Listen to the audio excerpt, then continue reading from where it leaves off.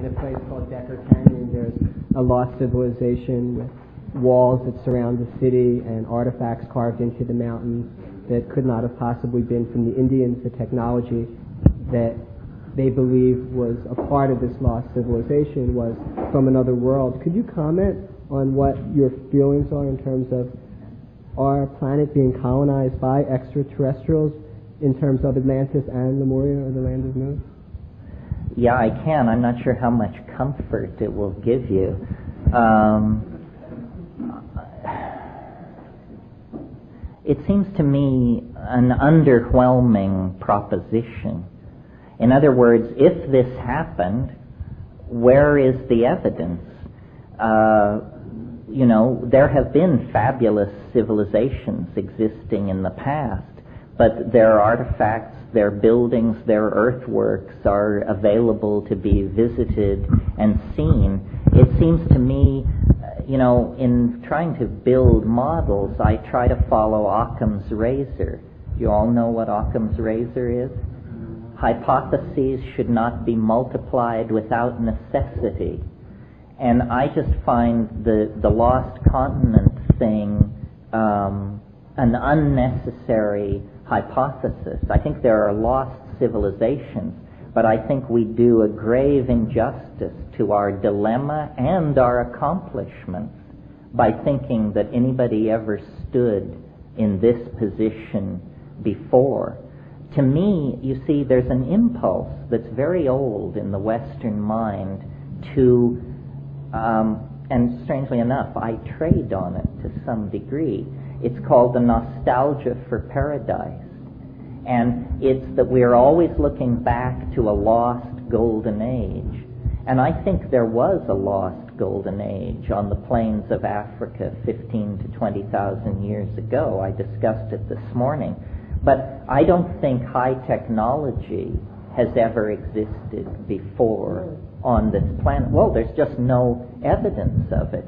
And the Atlantean people and the enthusiasts of Mur, Mur, Mu and Lemuria are always trying to fiddle with the dates and say, you know, the Great Pyramid is 25,000 years old and there's a ruin on the Nazca Plain that's 50,000 years old.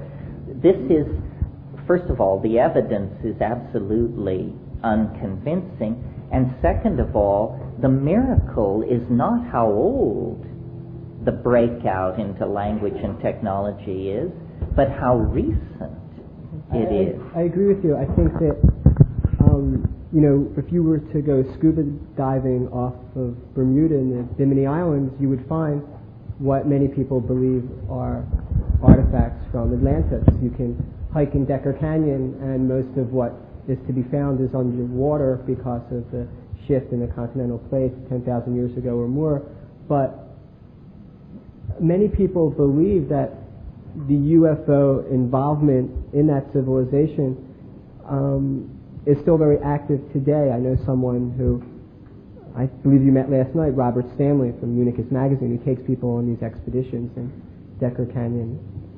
He took somebody at the beginning of the summer, and a roll film was shot the person was from the East Coast, I believe in Boston, and he spaced on the development of the film. He just forgot about it, and he decided, okay, I might as well get this developed. And sure enough, hovering in the distance over this part of the canyon were 12 saucers.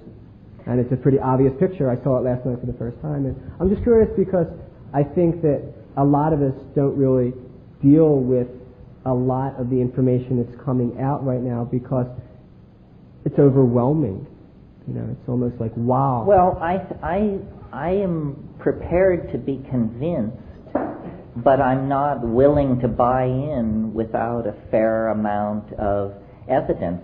As far as UFOs are concerned, um, I've thought a lot about it. I've seen them far away, up close, and it's not what people say it is.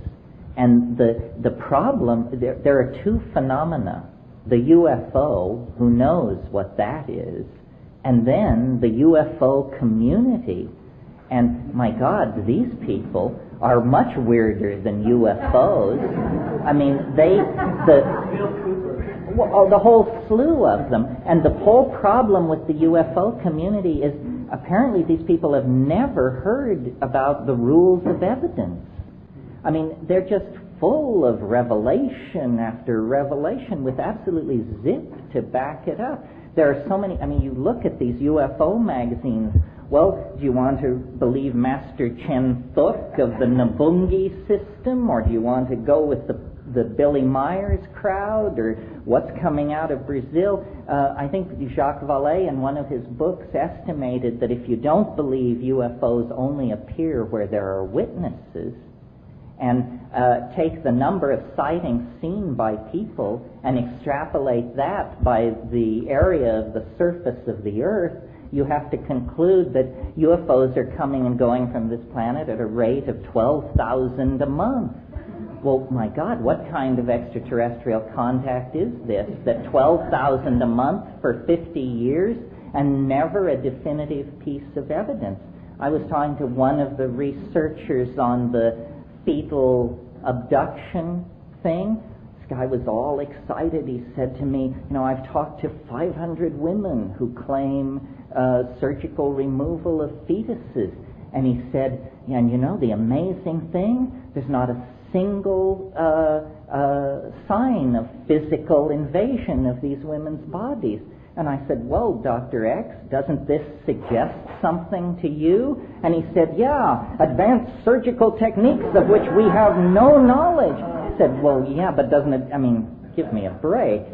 So I think they have to operate in the light of the same evidence as everybody else. And their problem is that they claim to know too much. They're just willing to tell you, you know, 125,000 years ago they arrived to grow sweet peas, and then 100,000 years ago the project changed and the 11th planet did something. Too much, too much data. It's too Jack Armstrongish. Do you believe our government has the technology to travel in ships to other stars? Do you think we're doing that today, or do you think that's our future? No, I don't think we're doing that today. I mean, this is a we have a government that can't uh, knock off uh, a loudmouth in Baghdad, let alone travel to other stars. So you believe our space program? Pardon me. program is limited to what NASA tells us is the reality of what's going on, and that basically you don't think there's like an underground or a whole network of societies and organizations within our government that are involved in research and technology well, obviously, there is a black portion of the government where research goes on and probably fairly kinky things are carried out.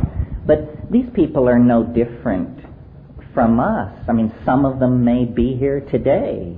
And I don't mean cops, I mean, you know, there may be NASA scientists here today that we are not so different from the people we're talking about. Human beings cannot keep a secret you may bank on it. And so the idea that, you know, somebody possesses a technology thousands of years in advance of us, I mean, then when you actually tear the lid off some of these government black operations, you don't find super scientists and brilliant minds. You find people like Gordon Liddy and John Dean and, you know, half-wits, clowns, uh, seem to lie behind most of this.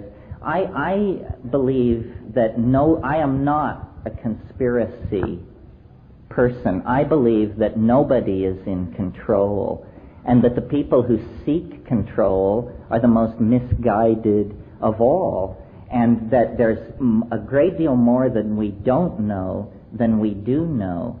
And, uh, you know, I would love to be convinced that something really far out were happening but it just always seems to come apart in your hands.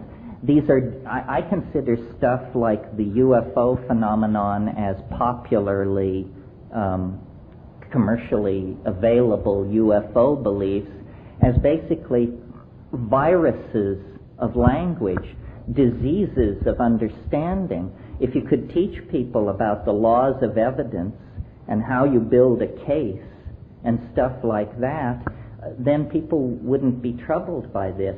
The same fuzzy thinking that permits people to believe in UFOs permits them to believe in the imminent uh, expectation of the second coming, or you know, the face of Christ appearing on tortillas, and all of this stuff. Terence, may, may I stop here for a second? Uh, is there a lot of people still with questions? Because we still have a lot of time, well, at least till 6 o'clock, supposedly. Um, can I have a show of hands? Of, okay, there's a few more, because we want to sort of limit the questions to one question per person and, and sort of one rebuttal from that so that everybody can get a fair share before we uh, make a final. Is this a gentle hint to stop raving about UFOs? Just want to make sure leave the UFOs. He doesn't want to hear any more about it. Oh, I see. Well, I'll, I say to the UFO people the same thing. You know, what can you show us? Drag it forth. Everything has to be judged on the same field. It, it, if you've got something, spill it. But to claim, you know, as I, I don't want to use names here, but stories like, well, we met the UFOs and they gave us a message from mankind, but when we got back to our car, our tape recorder had miraculously erased itself. Well, then be quiet. Don't tell anybody this. Don't you understand how lame that sounds to the doubter? It's, it's not the believer you have to convince. They're a pushover. What are you going to do about your skeptics? That's the problem. I was in the Amazon. Um, I was in a state of considerable psychic turmoil, and uh, I sat up all night. This is told, by the way, in the book True Hallucinations, which will be published next year. And uh, at dawn, I looked across this lake, and there was a thin line of clouds on the horizon. And uh, I watched this line of clouds and they were, and then suddenly I noticed that they were turning in place like a pencil spinning on its axis in one place.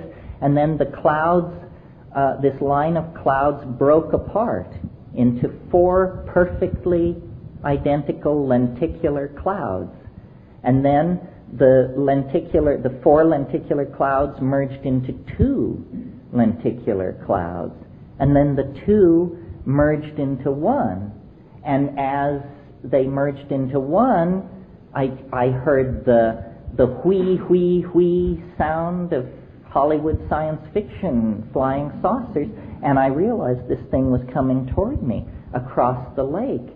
And it was absolutely convincing. It was a flying saucer, the real thing. And, and I, I was absolutely convinced that it was going to take me at that moment.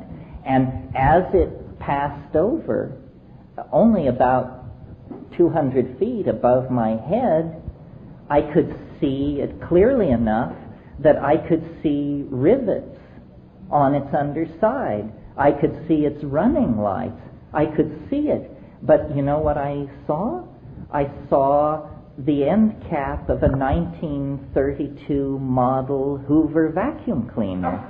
it was the very same flying saucer that George Adamski suspended from a piece of mylar fishing line in 1953 and photographed in his garage one of the most famous UFO hoaxes of all time. I saw it, a diameter of 40 feet, over the Amazon basin, and I knew what I was looking at. It was uh, more disturbing than if it had been a ship from Zeta Reticuli because it had built-in cognitive dissonance. Uh, what? The mind couldn't sort of perceive the magnitude of it, so sort of like you did a mental override on it. Well, see, I, I believe you completely. I don't have any problem with that. It's simply an enormous leap to say that that was a craft from another star. It's much better to just say it's a who knows what it is. The world is full of weird stuff. It, just briefly, here's my best theory on flying saucers and a whole bunch of other stuff. This tries to solve all problems of this sort simultaneously the transcendental object at the end of time, let's drag it in here. And let's imagine that it is like those mirrored balls that they hang in discos above the bar and spin. So then I think that definitely there is a forward movement of causal necessity which propels us from the past into the present on into the future. But that there is also, and necessary to account for precognitive visions and stuff like that, which happen all the time, a flow of information from the future into the past. And the transcendental object at the end of time is casting reflections of itself backward into the past. And if you are struck, whatever that means, by one of these scintillas from the transcendental object at the end of time, then you begin to cure and teach. And if you really got a good hit, possibly raise the dead. I mean, I'm not sure how far it can go. Now, also, these, these images of the transcendental object at the end of time haunt the skies of this planet in the form of spinning vortices of contradiction. This is what Jung said. He said, you know, the UFO is an image of the self. And I don't mean the little self, I mean the collective self of humanity. So a story like Jim's story is, I have no problem with it. I take it as true. It's the people who say, you know, and they revealed the nature of the fall of Atlantis and the world plan, then it's too much because it's coming through human interpretation. The horrible thing about the UFO people who claim contact is that the, the aliens they present to us are so incredibly mundane. So much more mundane than what you would encounter on a DMT flash that they're just like the neighbors next door. Uh, I think that, you know, alien intelligence, the trick is not to find it, but to recognize it when it's in front of you.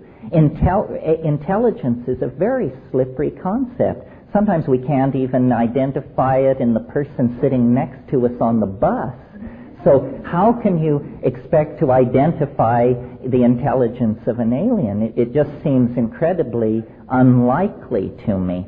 I think the world is a lot stranger than we suppose without evoking benevolent aliens who prefer vegetarian diets and who come from the stars. I mean, why do they so fit our preconception of what they would be? I mean, silvery humanoids, uh, alien intelligence and alien life. When and if you meet it, you'll know you're in the presence of the real thing because you'll be barely able to wrap your mind around it. Well, if we perceive these as being aliens, that's one thing. But what happens if, in fact, these humanoid creatures that we're defining are us? traveling back through time and, and being able to materialize our, through, our t- through the, the future technology, then we're talking about something different. I'm not saying that this is true. This is only you know part of my own you know speculation. Well, it's an attractive idea. Yeah, it, it raises exactly. problems, as I'm sure you're aware, sure. the grandfather paradox and so forth and so on. Uh, but it, it's a possibility. I think it's more likely that these are emissaries from the land of the dead yeah. than from the Pleiades. Right. And that it, since they speak English, since they look humanoid, since they seem to care about us and our technologies and so forth, they seem remarkably human. Well, maybe they're concerned about their own state of well-being. Maybe somehow it's related to to the the you know what's going on here now and what the outcome is going to be. Maybe that's going to somehow affect the way they are. You know, I mean, we've seen it in in Star Trek. You know, I mean, the ideas. No, the ideas of, of you know people coming back from the future to, to you know I mean there is a paradox obviously involved in it, so it is it, it's a lot of our imagination at work. But at the same time, at the, at the same in the same ideas, you know, maybe there's a certain sense of reality about it. Maybe there is. Maybe there is. It could know, be a holographic projection out of the Gaian mind. Yeah. It could be, uh, you know, a race of intelligent saurians that rose and fell before the asteroid impact that wiped out the dinosaurs. It could be all and everything. The trick is to try and get some kind of evidentiary hold on it.